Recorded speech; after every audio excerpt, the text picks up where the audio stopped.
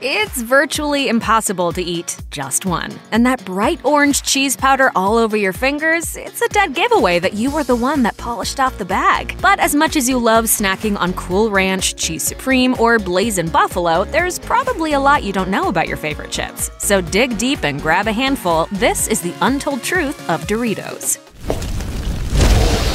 Doritos addiction proven by science. You know that feeling you get when you're eating Doritos? Hey, are you gonna finish those? Sorry, they're already gone. No, they're not. You left the best part. No, I'm pretty sure they're. Mmm, cheese.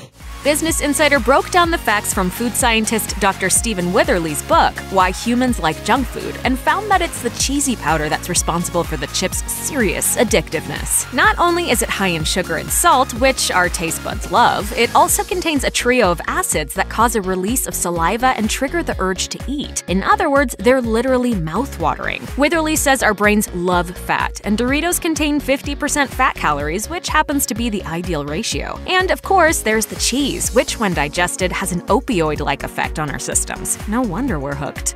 Brought to you by Disney? Daddy, can you play Princess Fashion Shows with me?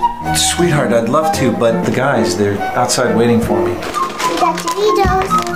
When it comes to the invention of Doritos, there are two competing theories. One story goes that they got their start at Disneyland, another gives credit to Archibald West, a Frito Lay marketing exec. But even Frito Lay doesn't know the truth. PR director Joan Zitera told HuffPost, We don't have anything in our records or archives that confirms it. We don't credit any one individual for inventing our products. As for the Disneyland version, once upon a time, Frontierland was home to Frito Lay's Mexican joint, Casa de Fritos. One day, a salesman noticed the cooks were throwing out stale tortillas and recommended they fry them in oil for a crispy snack. They were a big hit with diners, and the iconic chip had unofficially been born.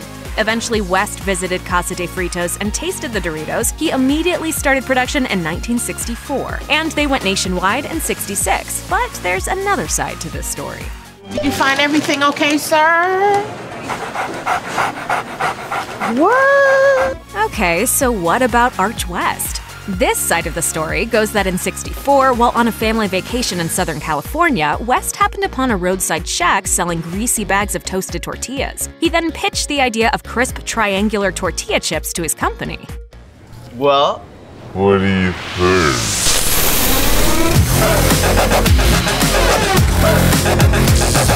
Whether or not Arch West actually invented Doritos, he was definitely loyal to the chips. According to his obituary, he ate them his whole life and was even sent new flavors to taste test long after retirement. When West died in 2011, his daughter told Dallas News, We're tossing Doritos chips in before they put the dirt over the urn. He'll love it.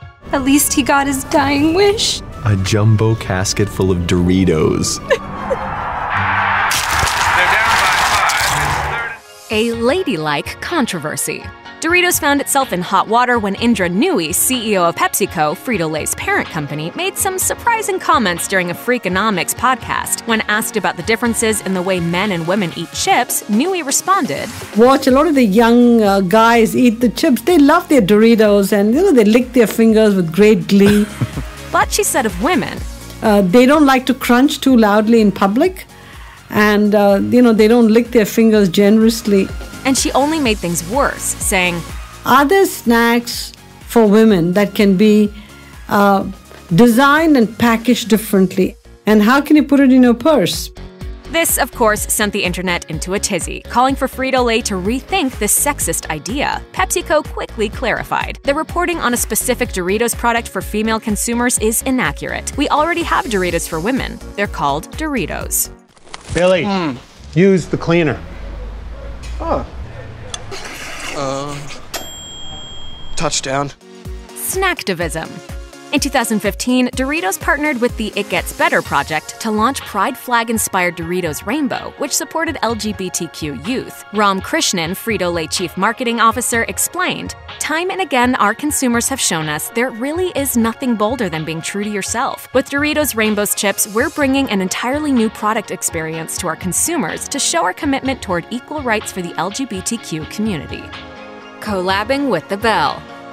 A partnership with fast food titan Taco Bell, the Doritos Locos Taco was an immediate success. According to CEO Greg Creed, its launch in 2012 was the quote, biggest in Taco Bell history, selling an astounding 500 million tacos in the first 14 months. That's more than 1 million tacos per day. We had a feeling it was gonna be big, but no one predicted this. By 2013, they had hit $1 billion in sales.